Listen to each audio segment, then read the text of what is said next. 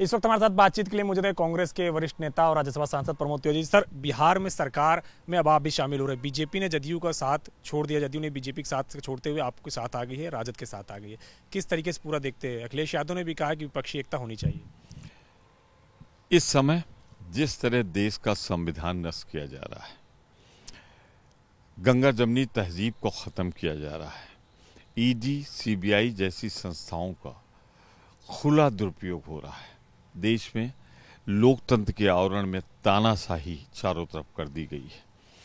हर निर्वाचित सरकार गिराई जा रही है। अगर विलंब कर देते थोड़ा सा तो बिहार में भी ऑपरेशन लोटस जारी था।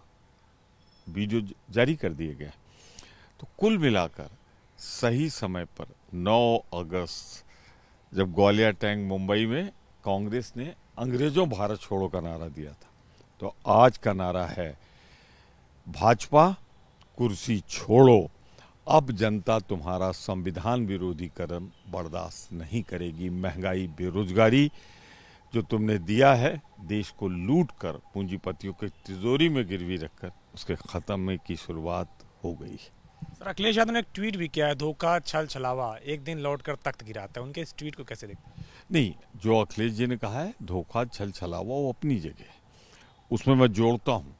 संविधान जो तोड़ेगा, जो एक गंगा जमनी तहजीब को ख़त्म करेगा, जो इस देश की आत्मा को चोट पहुंचाएगा, वो चाहे जितना शक्तिशाली क्यों ना हो, एक न एक दिन जनता की ठोकर उसको लगती है और बड़े से बड़े ताज गिर जाते हैं। देश में लोकतंत्र ज़िंदा रहता है। सर, एक सवाल और इससे जुड़ा हुआ। महाराष्ट्र में अगर बात करें तो तमाम सारे विपक्षी दल एक साथ आए, सरकार बनाए। बाद में बेशक सरकार गिरी हो। बिहार में भी एक साथ आ रहे हैं, सरकार बनाने जा रहे हैं। क्या ये संकेत है कि 2024 के पहले कांग्रेस पार्टी भी उत्तर प्रदेश तमाम तमाम राज्यों में विपक्षी दलों के साथ मिलकर चुनाव लड़ेगी या सरकार बनाने की कोशिश करेगी? कांग्रेस ने हमेशा कहा है कि वक्त की आवश्यकता है। हम मुख्य विपक्षी दल हैं।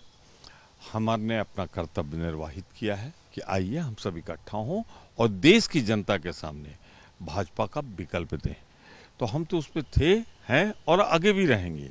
हाँ कुछ दल जो बीच बीच में, मैं नहीं जानता क्यों, इस रास्ते पे नहीं चलते हैं, उन्हें कांग्रेस की बात मान लेना चाहिए। और कांग्रेस चूँकि सबसे बड़ा मुख्य विरोधी दल है, उसके साथ मिल बैठकर जनता के सामने सही विकल्प देना चाहिए। चौबीस में सपा बसपा को भी साथ लाने का प्रयास किया जाएगा कांग्रेस को।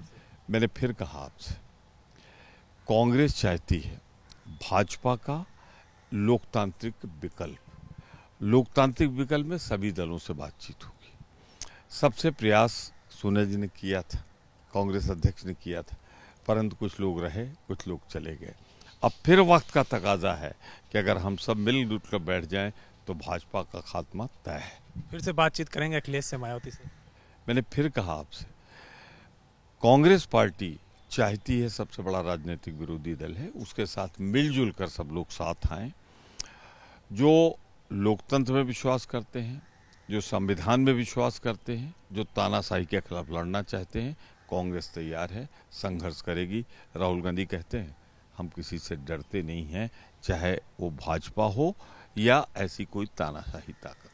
एक आखिरी सवाल है कॉमनवेल्थ गेम्स में जो यूपी के खिलाड़ियों ने पदक जीता है, मुख्यमंत्री ने उनको सम्मानित करने की बात कही है। बहुत अच्छा कदम है। हर मुख्यमंत्री को, हर सरकार को और हर बड़े संस्थानों को जो पदक लेके लौटे हैं, तिरंगा फहरा के लौटे हैं, उन्हें सम्मान देना चाहिए और आर्थिक संबल भी देना चाहिए।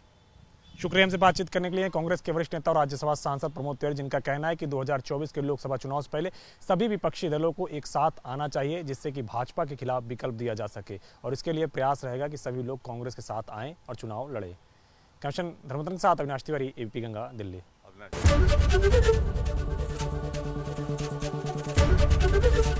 एबीपी गंगा, खबर आपकी जुबा आपकी।